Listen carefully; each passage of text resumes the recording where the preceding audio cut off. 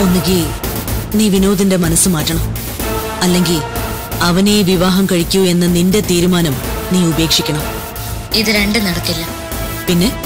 ഏട്ടൻ ഗീതുവിച്ചെ വിവാഹം കഴിക്കണം. നീ ഇങ്ങനെ മറിഞ്ഞിരുന്ന് ഉണ്ടാക്കുന്ന നേരിട്ട് ഞാൻ വരാം. പക്ഷേ അതിനു മുമ്പ് ചേച്ചിയും ഗോവിന്ദേട്ടനും തമ്മിലുള്ള വിവാഹം ഉറപ്പിച്ചിരിക്കണം. പ്രിയല്ലാതെ വേറൊരാളെ ഞാൻ കല്യാണം കഴിക്കില്ല. പക്ഷേ ആ വിവാഹം നടക്കണമെങ്കിൽ ഗോവിന്ദേട്ടൻ ഗീത കഴുത്തിലെ താലി കെട്ടുമെന്ന് ഉറപ്പ് കിട്ടണം. വിനോദ് മരിച്ചിട്ട് ഞാൻ ജീവിച്ചിരുന്ന. നിങ്ങൾക്കായിരിക്കും അപകടം. അവനെ കൊല്ലാൻ ഗൂഢാലോചന നടത്തിയത് നിങ്ങളാണെന്ന് പോലീസിന് ആദ്യം മൊഴി കൊടുക്കുന്നത് ഞാനായിരിക്കും.